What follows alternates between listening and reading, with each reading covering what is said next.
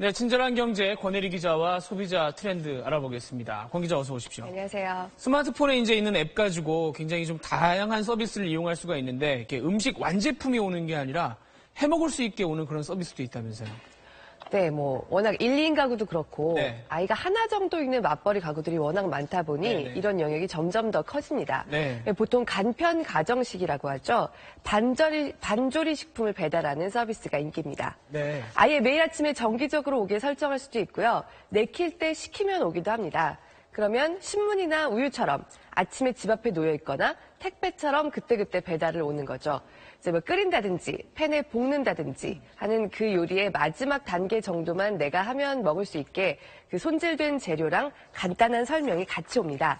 그래서 가격으로 보면 같은 음식을 밖에서 먹었다고 생각했을 때보다 50에서 좀 비싸면 한 30% 정도까지 저렴하게 책정되는 편입니다.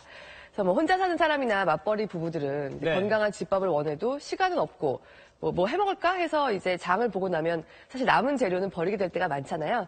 이런 분들을 겨냥한 반조리 식품이 인기인데 거기에 배달까지 결합된 거죠. 특히 출근하기도 바쁘지만 집에서 따뜻한 아침은 먹어야 기운이 난다 하시는 분들이 이용을 많이 하신다고 합니다.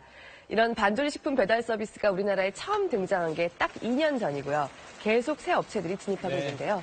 그 최근까지 좀 자리를 잡은 대여섯 개 업체는 매출액이 최근 1년 동안 3, 40배 정도까지 증가한 것도 있습니다. 또 저런 회사들이 요새 서비스를 내놓은 게 주중용하고 네. 주말용이 또 다른 경우가 있다면서요.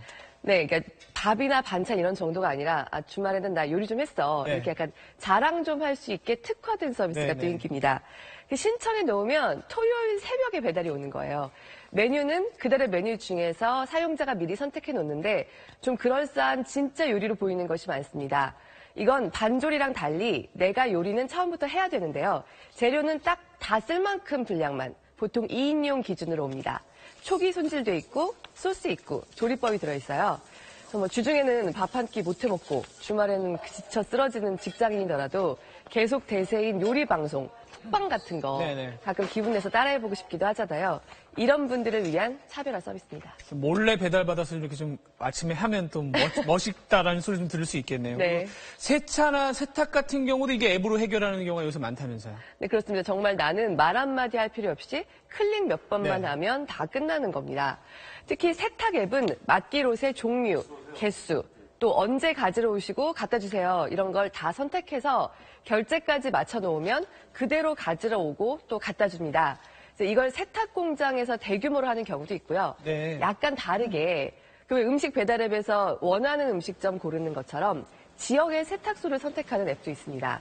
그래서 사실 세탁 공장보다 동네 세탁소를 선호하시는 분들도 분명히 네. 계시거든요. 이런 분들을 노린 거고 또 지역 세탁소들도 수수료를 좀 내고 고객을 유치하는 거죠.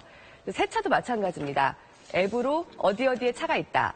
또 세차 방식, 언제 해주세요. 이런 걸 다 지정을 하면 출장 세차가 와서 세차를 해주고 그 결과를 사진 찍어서 요렇게 끝냈다고 네. 예, 전송까지 해주고 갑니다. 이런 서비스들이 시중에 원래 있는 세차나 세탁 비용보다 뭐 싸지는 않습니다. 네.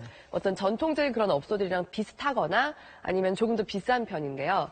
이렇게 편리를 좀 구매한다 그런 뜻에서 좀 젊은 부부들이 많이 사용하고 있는 것 같습니다. 사실 이렇게 꾹꾹꾹 몇 번 누르기만 하면 해결이 되기 때문에 써보면 네. 사실 편한 면이 있어서 많이 이용을 하게 되는 것 같습니다. 네. 잘 들었습니다.